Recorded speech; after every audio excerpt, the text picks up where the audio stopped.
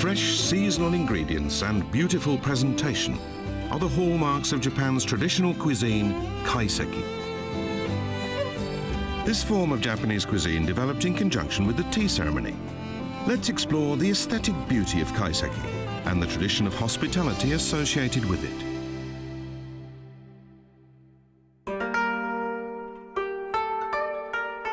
Kaiseki cuisine is a traditional Japanese multi-course meal prepared from fresh seasonal ingredients. With each course, the special care the chef takes when preparing every dish can be felt. Let's take a look at a few of the many different dishes found in Kaiseki cuisine. A genuine Kaiseki meal begins with a small tray arranged with three dishes. Rice, just out of the pot. Soup. This contains seasonal ingredients. And the third dish is mukozuke. This is typically a serving of raw fish or a dish marinated with a vinegar dressing. The next course is a boiled dish called nimono-wan. Here we have fragrant autumnal ingredients, pike eel and matsutake mushrooms.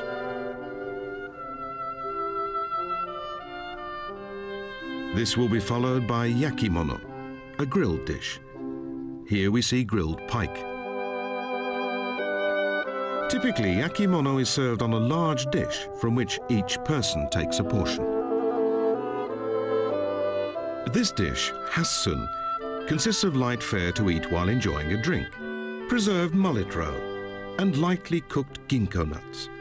Hassun features such delicacies from the ocean and the mountains. In Kaiseki cuisine, many clever techniques are used to evoke a sense of the seasons.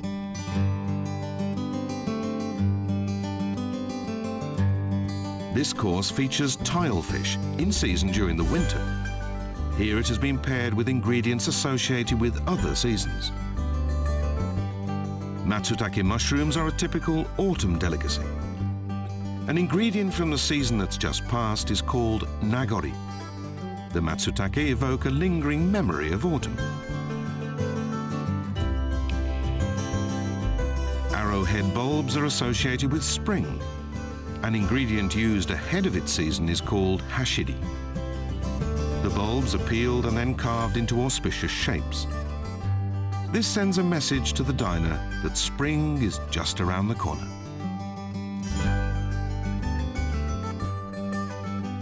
Serving out of season ingredients along with those in season is a subtle way to draw attention to the changing of the seasons.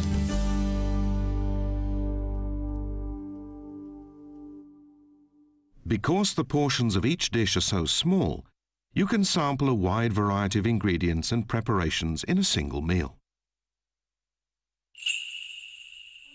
This cuisine has its origins in the 16th century. It developed from the style of food served at tea gatherings by the tea master Sen no Rikyu.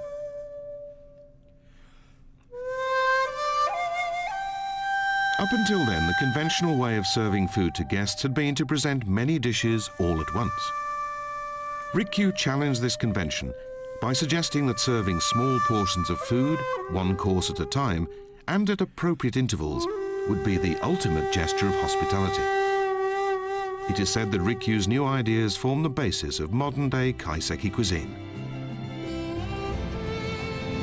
Recently, there's been growing interest in kaiseki around the world top French chefs have been visiting Japan to discover its secrets.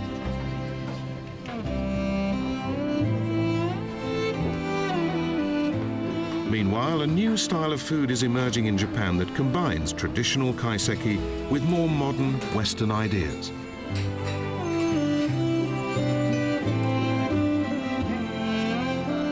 Although kaiseki cuisine is a pure embodiment of Japanese aesthetics, it is not static and continues to evolve from day to day.